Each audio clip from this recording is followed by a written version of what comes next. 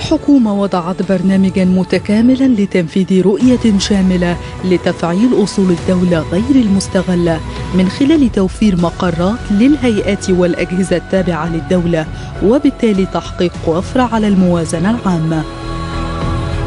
البرلمان طالب بالتنسيق مع لجنة الانتقال إلى العاصمة الإدارية الجديدة لدراسة الاستغلال الأمثل للعقارات التي سيتم إخلائها والتنسيق مع لجنة الحفاظ على القاهرة التراثية لحسن استغلال المباني ضمن المناطق التراثية واستغلالها بمخطط أكثر شمولية.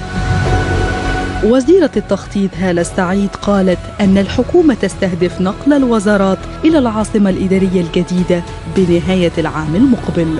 كما أشارت إلى مصير الأصول القديمة لمباني الوزارات قائلة إن توجه الحكومة الرئيسي في هذا الأمر أن يكون هناك صندوقا ماليا تابعا للصندوق السيادي توضع فيه هذه المباني المحلية الحكومة في برنامجها المرسل للبرلمان أكدت استهداف نقل 31 وزارة و57 جهة تابعة إلى العاصمة الإدارية الجديدة على مرحلة واحدة تبدأ عام 2019 وفقا لعدد من الضوابط أبرزها أن يتم مراعاة جودة الجهات الخدمية بجانب الجهات المعنية وأن يتم نقل العاملين طبقا للعدد الأمثل لكل إدارة.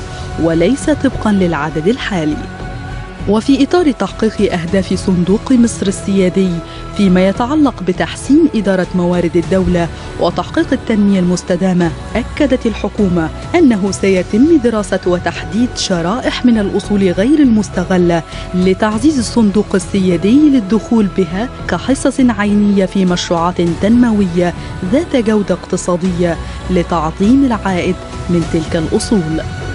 مع اقتراب نقل المقار للوزارات والمصالح الحكومية إلى العاصمة الإدارية الجديدة والمطالبات بوضع استراتيجية وخطة واضحة المعالم وبتوقيتات زمنية محددة لتنفيذ رؤية شاملة للاستفادة من أصول الدولة غير المستغلة. فكيف ستستفيد الحكومة من هذه الأصول العقارية الهائلة؟ نشوى عبد العاطي مساء دريم